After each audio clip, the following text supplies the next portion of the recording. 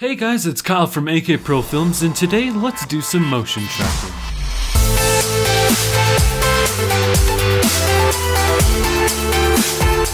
Alright, so before we actually begin this project, let me show you what the final output will look like.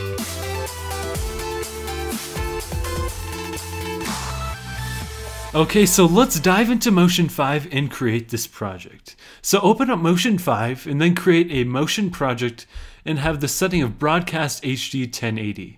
And also have a frame rate of, let's say 30 frames per second and a duration of, let's say 5 seconds.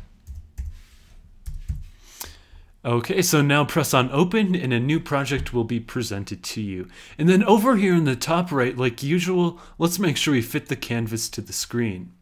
And then we want to take our footage, which I recorded earlier.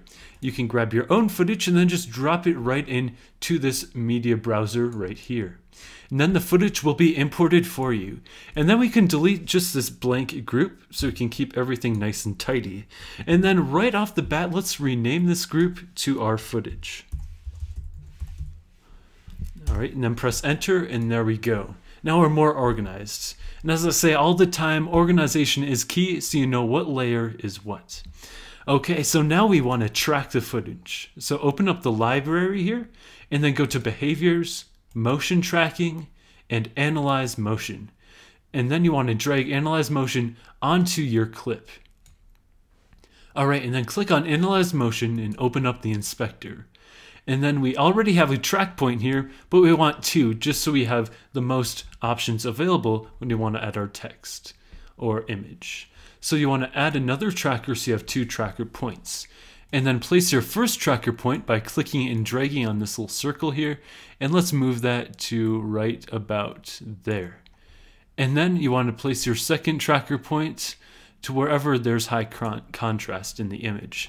So the most successful places for putting a tracker point is where the image has the most contrast. So up here we can see we have a lot of contrast by that camera lens where the reflection is. And down here by the Apple logo, we have a lot of contrast between the silver unibody and between the Apple logo. So let's just place that there. And if you need help with any of your tracks, let me know in the comments below. Now what we want to do is press Analyze. Now, analyzing will take quite a bit of time and it depends on what your computer is capable of. So if you have a really high performance computer, it'll take less amount of time. If you have a little slower of a computer, it'll take a little bit longer. Alright, so our analyzation is done, and now we can add the layer we want to track.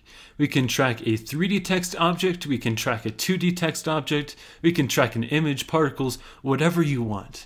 So what you want to do is you want to drag your layer or click and add your text.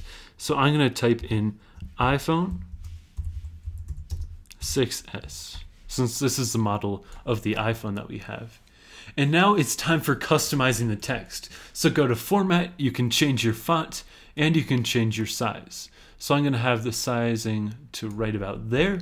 I want to go to the appearance. Appearance, I don't want the face to show. I just want a nice thick white outline. So click on this little color box here and then you can go to your crayons and choose the color of your choice. I'm going to increase the width a little bit. And there we go, we have the basic structure of our text. Now let's track this onto the image. So this is the easy part. Let's open up the library, go to motion tracking, and drag the match move behavior onto our layer that we want to track.